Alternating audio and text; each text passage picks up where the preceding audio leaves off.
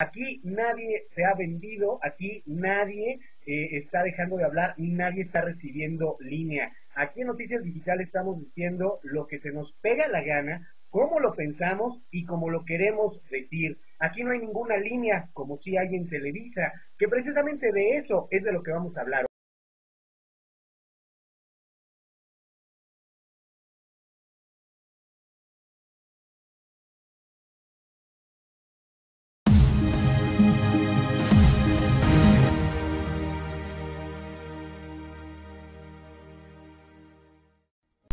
Mexicanos y paisanos estadounidenses, espero que tengan una excelente noche. Antes de comenzar, suscríbanse a mi canal, publicamos video todos los días y no se les olvide activar la campanita. También compartan el video. Miren, este, hoy desde temprano me encontré con el hashtag mujeres, este, mujeres con hambre. ¿Por qué? Porque el gabinete de Andrés Manuel López Obrador, que en su mayoría también está conformado por mujeres, la 4T está conformado por mujeres, dieron una rueda de prensa en apoyo a nuestro presidente. Y hoy amaneció este hashtag, la, verdad yo estoy este, apoyando a nuestro presidente. Ahí están mis, mis dos tigres, o sea, el tigre no se ha, no se ha dormido.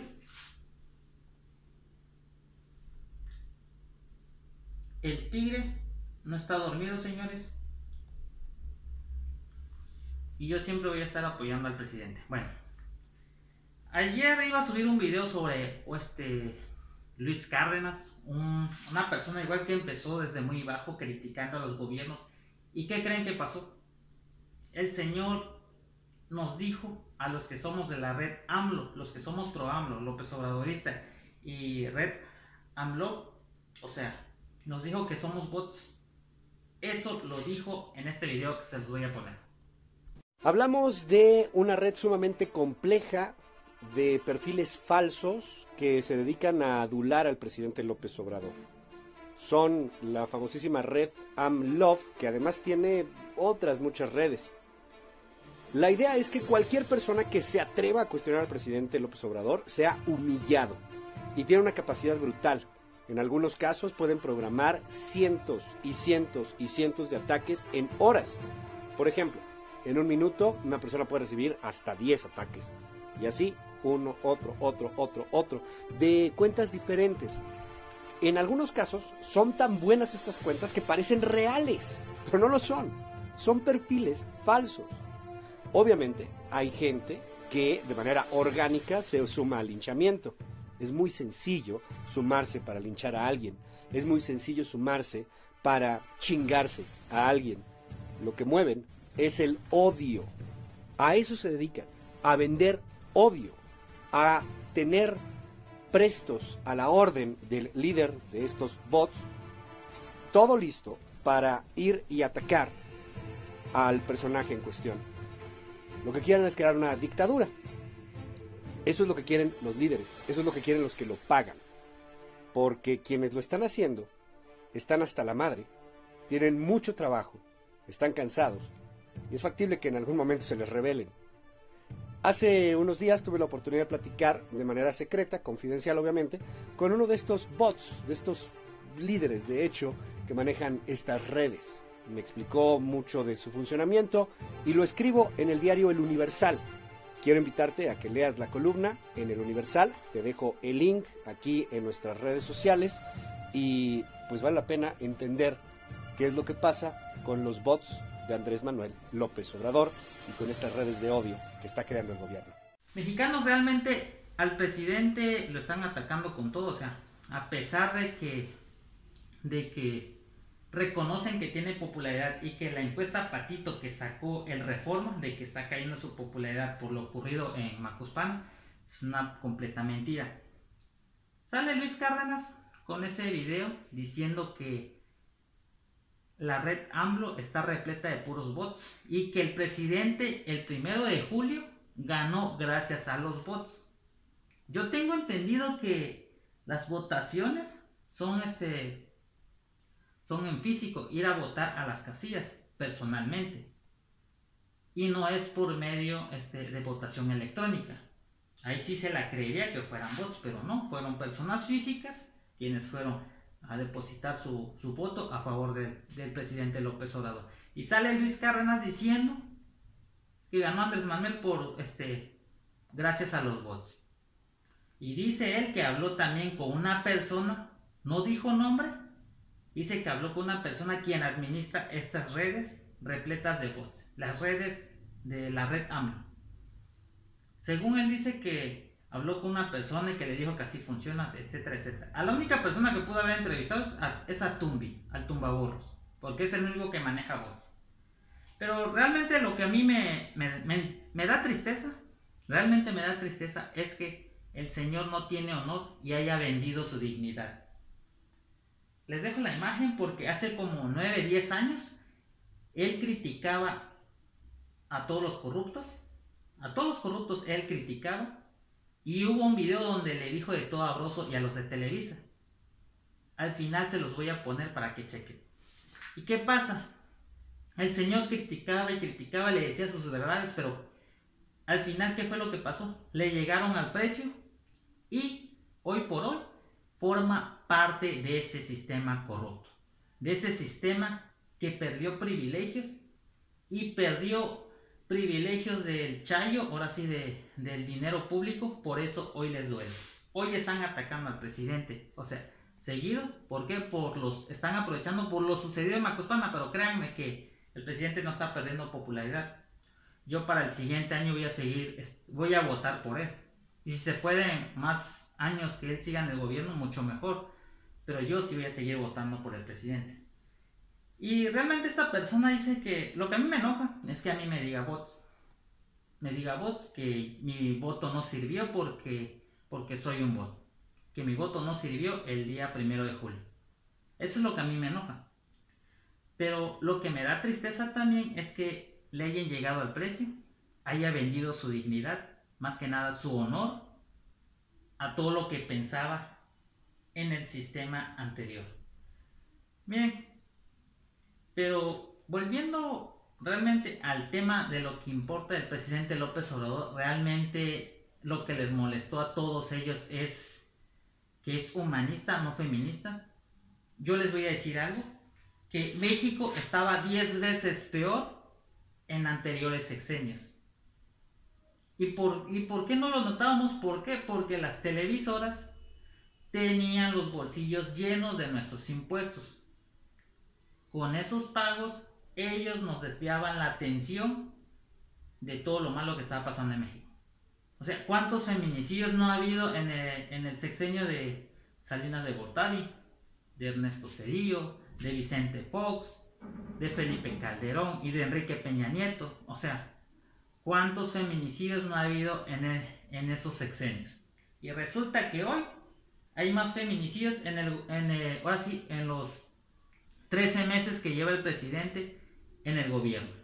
Resulta que hay más feminicidios que en esos, que en esos, que en esos gobiernos anteriores. O sea, realmente México sí estaba de la chingada en, eh, sexenios anteriores.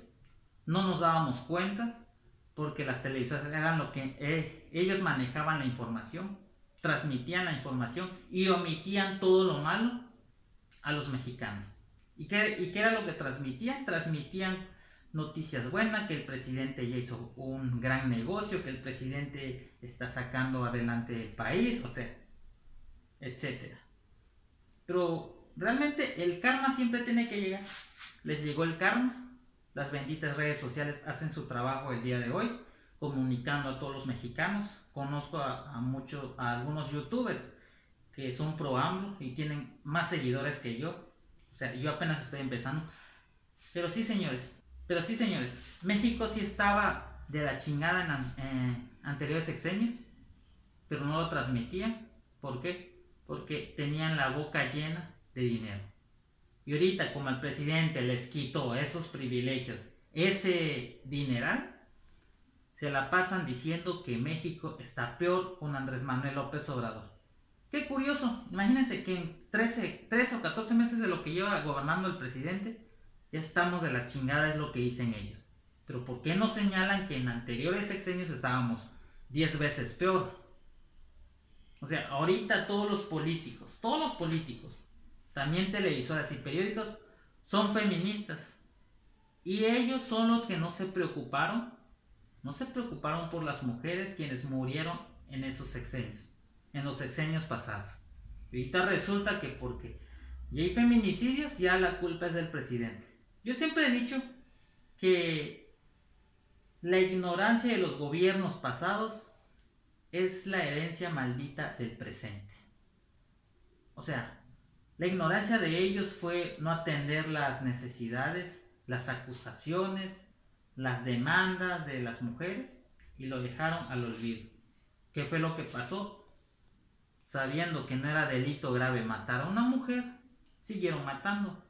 Y hoy en el presente, en el gobierno de López Obrador, de esas personas que ignoraron a las mujeres están apuntando al presidente de que no las está tomando en cuenta. Así es, señores. Bueno, esa fue mi opinión general. Espero y me vean en la próxima. Que tengan una excelente noche. Bye bye.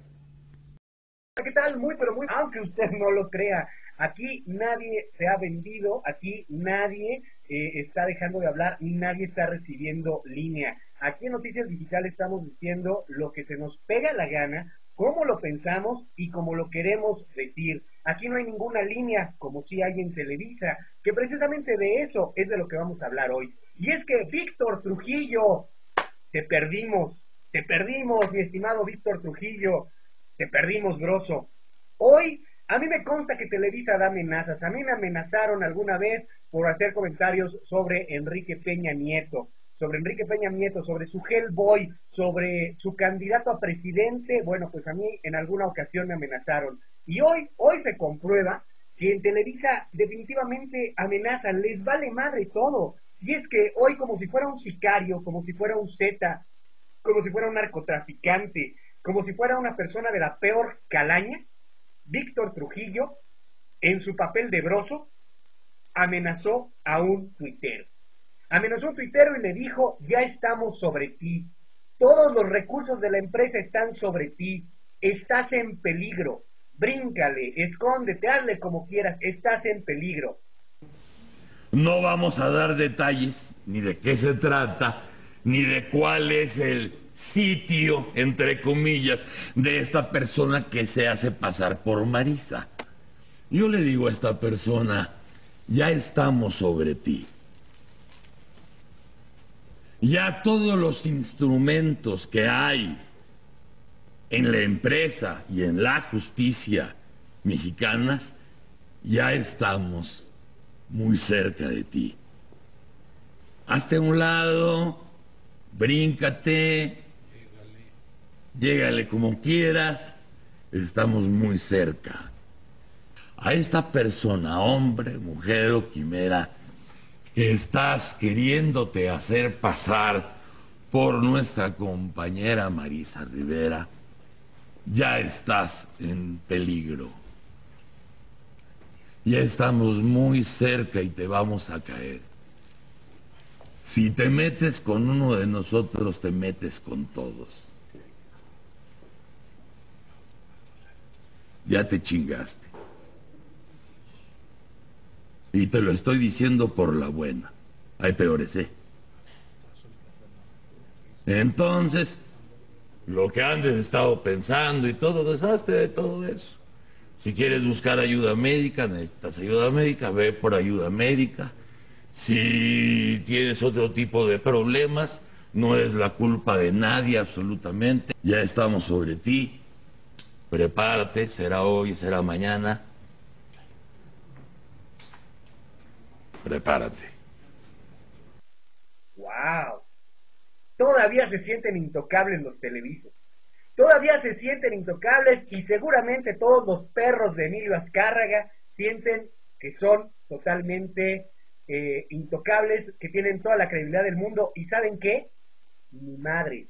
La están perdiendo a pedazos.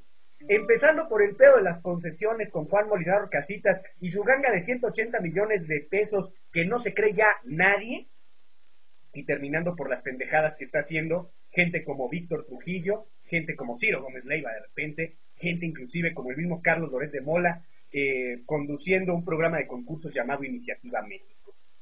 Es una lástima lo que pasó hoy en Televisa. Porque ese es el nivel de los comunicadores que tiene el país. Esos son los comunicadores que nos quieren presentar como la maravilla del país.